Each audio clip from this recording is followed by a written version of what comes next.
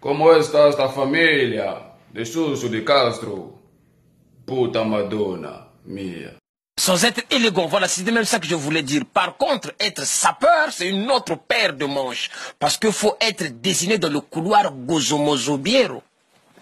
Qu'est-ce que c'est? Le, cou... ah, le couloir Gozomozobiero, il n'y a que Norba qui connaît parce que c'est là où on choisit les élites. Quand je dis para entender de esto, más claro que el agua.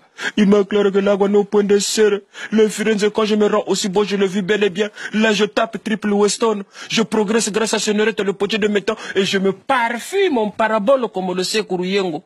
Chico wa Chico c'est Bettina Womo Zezana qui débarque dans cette principale appelée Gozomozobiero. Là où vous trouverez cette personne qui vous corrigera toutes les fautes de la boude et de l'élégance appelée Norba de Paris. Là j'enlève les lunettes, j'enlève le crocodile à l'eau aussi. On remarque la personne. Hmm? Et ça, c'est Ça c'est le summum de la sape. C'est c'est différent de normatisé. c'est très